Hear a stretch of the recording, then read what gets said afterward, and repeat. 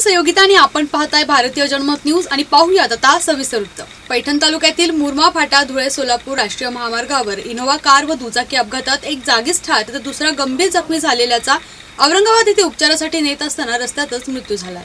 धुळे सोलापूर राष्ट्रीय महामार्गावर असलेल्या मुरमा फाटाजवळ इनोव्हा कार व दुचाकी धारक यांच्यात समोरासमोर धडक झाल्यानं अंबड तालुक्यातील डोनगाव येथील दुचाकी स्वार मुस्तफा पठाण हे जागीच ठार झाले. तर बबन काशी गंभीर जखमी असल्यानं त्यांना औरंगाबाद जिल्हा रुग्णालयात नेत असतानाच त्यांचा मृत्यू झालाय. ब्युरो चीफ अनवर पठाण भारतीय जनमत न्यूज औरंगाबाद.